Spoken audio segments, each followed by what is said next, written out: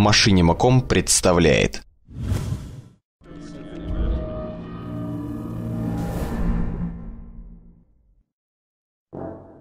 Разум Фримана Эпизод 26 Я просто впустую трачу свое время. Пытаюсь открыть этот лифт, но я ведь на 90% уверен, что он идет только вниз. Как и все остальное тут. Уже и так достаточно глубоко, кстати. Вся эта система безопасности должна что-то защищать. Готов поспорить, что у нас там гномы, добывающие драгоценные металлы и камни. Я хочу себе гнома. Черт, вон еще пришелец. Я бы посадил своего гнома в клетку и кормил его гранолой. Кажется, они это едят. Кого я обманываю? Если бы пришельцы добрались до туда, они бы всех уже давно сожрали. Гномы ведь мелкие. Минутку, они вообще существуют? Я не могу вспо... Черт, за мной снова следят. А что случилось с тем солдатом? Я думал, он разберется со всем этим.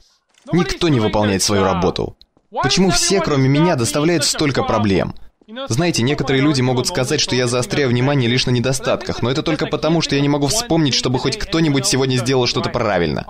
Все только и делают, что ломают что-нибудь, бегают и кричат, стреляют не в тех людей или дохнут. И что мне говорить людям-то? Ух ты, ты отлично потрудился, упав в шахту лифта. Или «Молодец, что запер себя в холодильнике». Я так тобой горжусь. О, здесь же обосновался этот голубой. Я опять езжу кругами. Лучше ускориться. Раз уж еду кругами, хочу ехать быстрее. Стоп, стоп, стоп, стоп. Этот тоннель я еще не осмотрел. И я до сих пор надеюсь найти сокровища. Мы же получали финансирование на всякие дерьмовые проекты, так что может тут где-то спрятано золото нацистов. Эх, ничего тут нет. Просто тупик и еще куча коробок. Наверняка заполненных сетевыми картами, которые мы не используем. BNC или как там его. Что ж, вернемся к нашей поездке по лабиринту.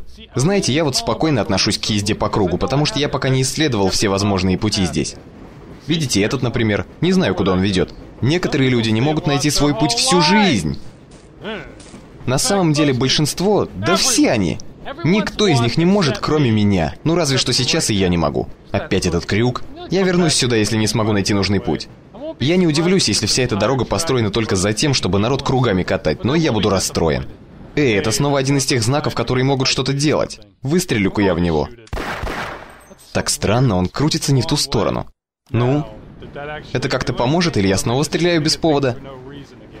Ага, помогло! Удивлен, что это сработало. Никогда бы не подумал, что стрелять по дорожным знакам это то, что нужно. Я всегда думал... Господи Иисусе.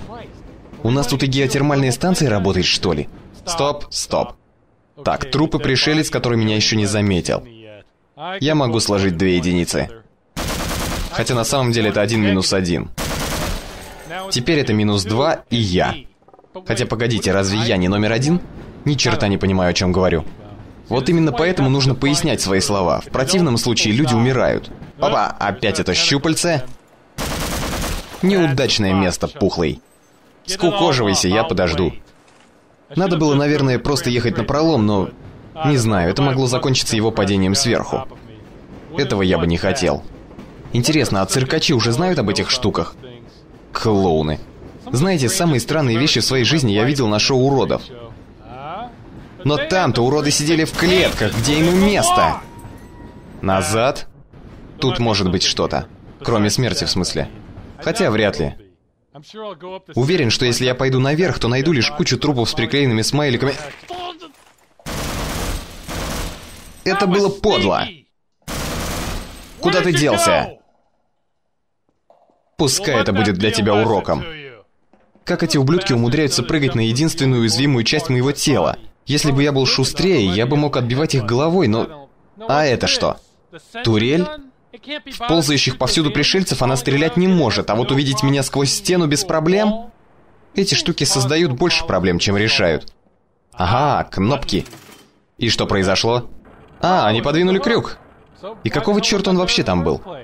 Ну что ж, это открывает кое-какие возможности, и я буду капитаном эффективности, переведу стрелки, пока я тут. Потому что, может быть, я и пессимист, но у меня есть подлое ощущение, что эта дорога найдет способ снова пустить меня кататься по кругу.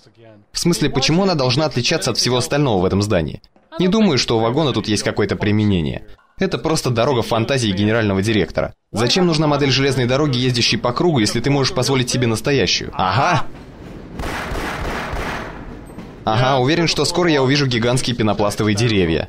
Скажу честно, меня прикалывает система переключения рельс выстрелом по знаку. В смысле, я-то думал, тут будет станция управления, а провод. Я все-таки езжу кругами. Но нет, они хотят, чтобы ты стрелял по знакам. Как пьяная деревенщина, стреляющая по дорожным знакам из своих пикапов. Мне лично нравится. Стрельба. Сменю-ка я стойку, хоть это меня и не радует. Не обращайте на меня внимания, ребята, я просто еду мимо. Ладно, серьезно, я действительно не хочу никому мешать. Боже мой, чего вы все такие враждебные? Эта штука вертится, и меня начинает мутить. Я не могу по вам метко стрелять, когда меня мутит. Где вы? Нет. Сбоку зайти пытайтесь. Я готов. Типа... Переведу-ка я дыхание на минутку. Надо было становиться пиратом. На русский язык перевели Александра Кост и Максим Солодилов. Текст читал Максим Кулаков. Специально для Стоп Game.ru Прекрасно анимированная Лара ловко карабкается по стенам, преодолевает пути в высоту и спускается по тросу. Новая система Animation Blending придает Хай! всем ее телодвижениям плавность тихо, тихо, тихо. и правдоподобие. Кончается. Меньше изумительно никак не дадут. Я на воле играл, шикарная тема. Как всегда, за приключениями мисс Крофт просто-напросто приятно наблюдать в любом виде и при всех ракурсах. А уж в Next Gen обертке пропустить такое просто грех. Откинешься, сыграй обязательно. Да уж, после такого-то обзора надо бы.